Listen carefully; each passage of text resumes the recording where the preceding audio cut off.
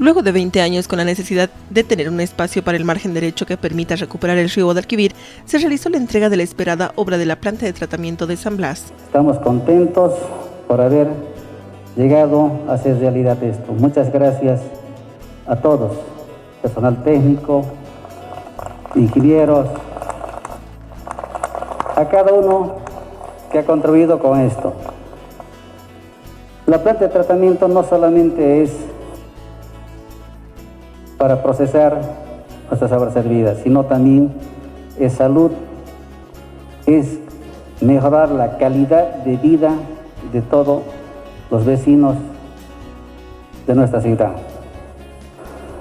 Por eso es mi agradecimiento a las autoridades que hicieron realidad esta obra tan anhelada para todo Tarija. Varias autoridades presentes coincidieron que es una obra moderna con tecnología de punta y que además, con la ayuda de toda la población, ha sido hecha realidad.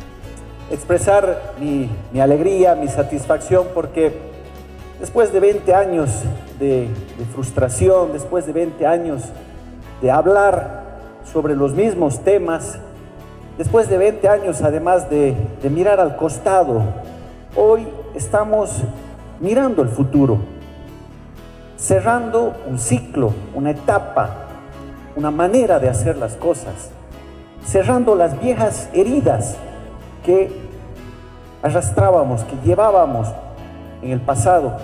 Eso es lo que representa la conclusión de esta obra. Representa cerrar un ciclo, pero también representa abrir otro, en el que estos años hemos demostrado cómo a través de la coordinación entre autoridades, a través del esfuerzo que hemos hecho de la mano de nuestro pueblo, de los vecinos y de las vecinas. Y hoy estamos entregando la primer planta de tratamiento de aguas residuales de la ciudad de Tarija, la primer planta moderna que se ha construido en este departamento.